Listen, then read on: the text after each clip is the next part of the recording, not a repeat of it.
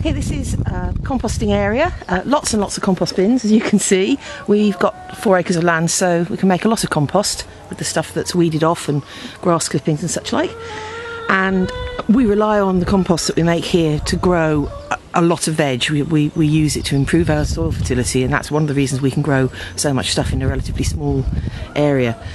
And a lot of it is um, ready to be dug out now. There's two working bins full of composting down stuff and a few more bins over there, but most of it I need to dig out and get the compost out from underneath and then spread it on the garden. Um, just everything that we can compost here, we do. So, chicken poo and bedding and hair and uh, peelings, everything goes into the compost bins. Anything that can be composted does get composted here.